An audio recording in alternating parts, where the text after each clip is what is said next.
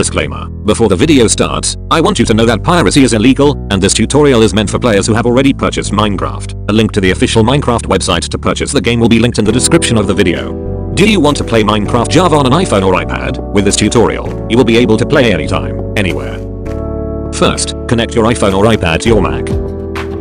Open Safari and go to altstore.io.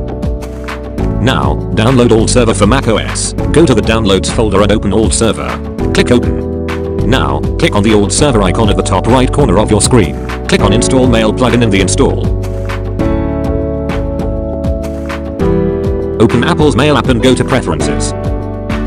In the General tab, find and click Manage Plugins. Select Alt plugin and allow access.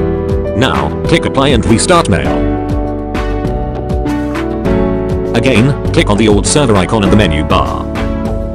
Click on Install Alt Store and select your device. Finally, log in with your Apple ID to install it on your iPhone or iPad.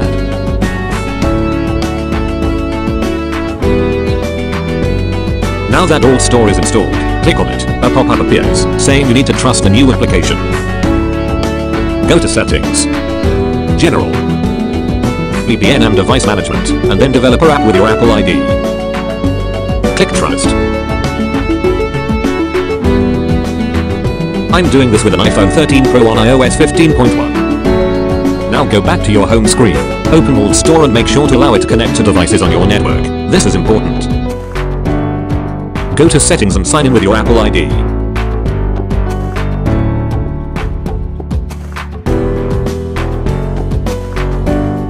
Now, open Safari and go to the GitHub link in the description. You need a GitHub account to download the IPA file. Make sure to sign in or create a new account. Scroll down and click on the IPA file to begin the download. Go to the Downloads folder and click the zip file to extract the IPA file. Now, go back to Alt Store and go to the My Apps tab. Click on the plus icon and click the Pojav Launcher file.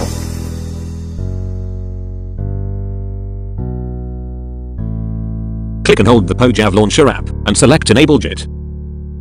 Do note, this is the first build of Pojav Launcher for unjailbroken devices. Because of this, support across devices will vary. If you need help with anything, join the Pojav Launcher Discord linked in the description.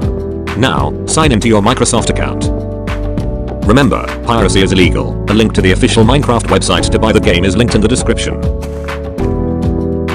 Now that you're signed in, select the version you want to use and click play.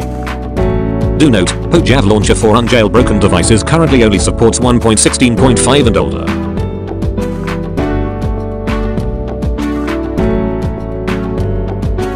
Make sure to like and subscribe to be notified when a new update is released.